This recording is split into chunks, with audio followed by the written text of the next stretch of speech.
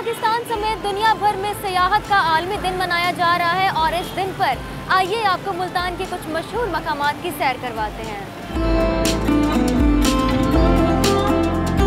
मुल्तान का बुलंद तरीन मकाम किला कोना कासिम बाग, जहाँ पर हज़रत बहाउद्दीन जिक्रिया और हज़रत शाहरुख ने आलम अलैह के मज़ारात हैं, जिनकी ज़ियारत करने और किले की सैर करने दूर दराज इलाकों से लोग मुल्तान का रुख करते हैं।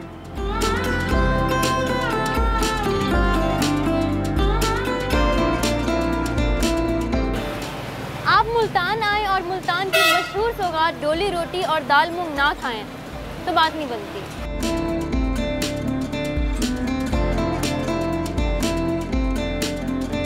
मुल्तान के वस्त में वाक़ ये खूबसूरत इमारत घंटा घर, जो कि फ़न तामीर का खूबसूरत शाहकार है, और सयाहों की दिलचस्पी को मद्देनज़र रखते हुए इंतज़ामिया इसकी असल हालत बरकरार रखने के लिए इकदाम कर रही है।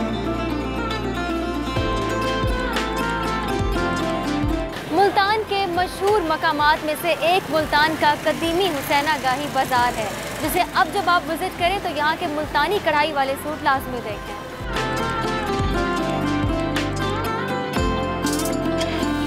और ये है मुल्तान के हैंडीक्राफ्ट्स, जिन्हें देखकर आपको अंदाज़ा हो गया होगा कि मुल्तान की सकाफत कितनी रंगीन है।